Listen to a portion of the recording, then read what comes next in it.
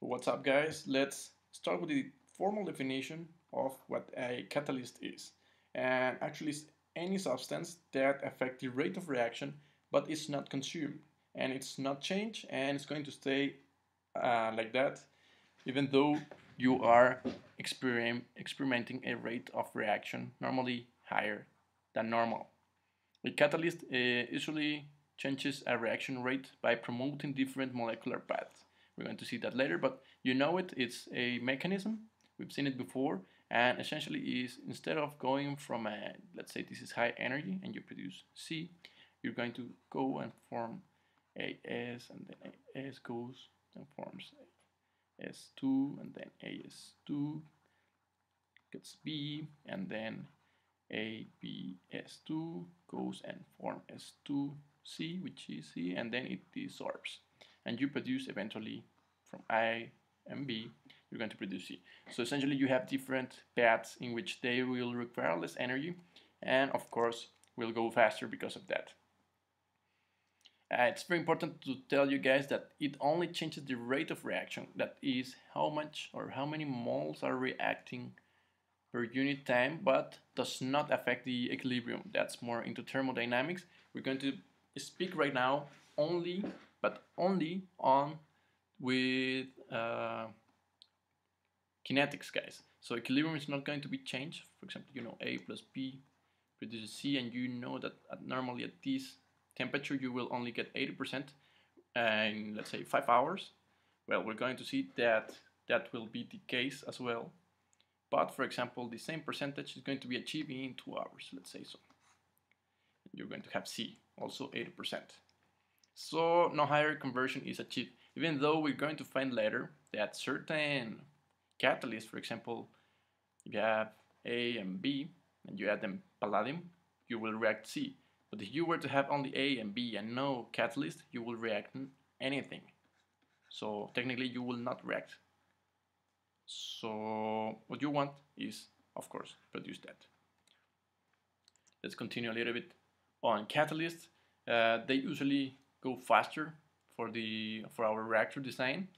It requires less activation energy and less free energy to reach the transition state. And you know the transition state, we're going to see that later.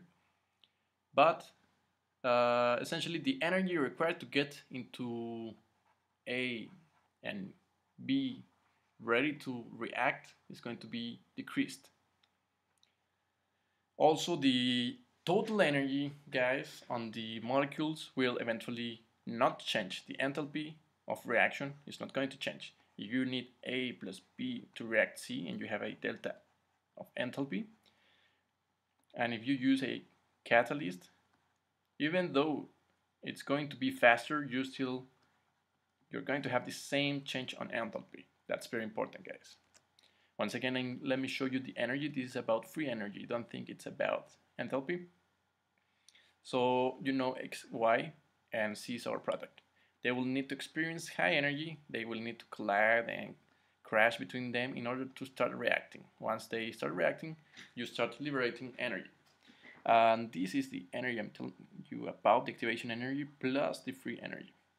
And if you were to add a catalyst, you're going to need less energy. Look, maximum energy is going to be almost half of that original. Uh, normally, if you have a perfect case, you will never need to get more catalyst, but the actual case is that catalyst will either uh, deactivate, they will get poisoned, they will get cooked, and they will be reacted in secondary processes. So you go and you will need eventually to recover that catalyst material. There are many type of catalyst recovery due to the high prices of it. Uh, of course, I told you before, they are even custom made or process made catalyst and that implies a lot of money guys. So that's a little bit into catalyst. We're going to continue with what an inhibitor is.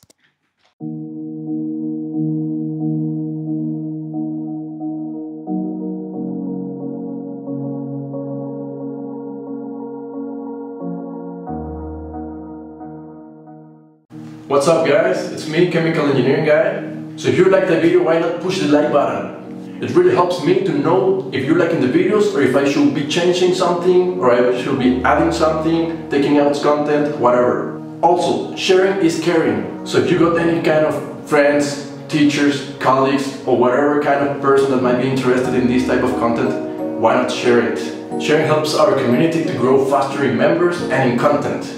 If you want to keep track of my activity, videos, uploads, experiments, playlists, whatever content I'm getting on YouTube, be sure to click the subscribe button. Subscribing to the channel is totally free guys.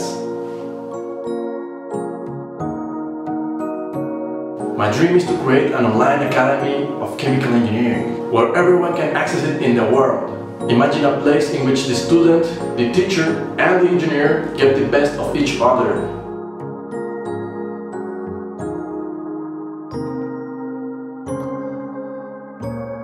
Thank you, thank you, thank you guys for the support and the love.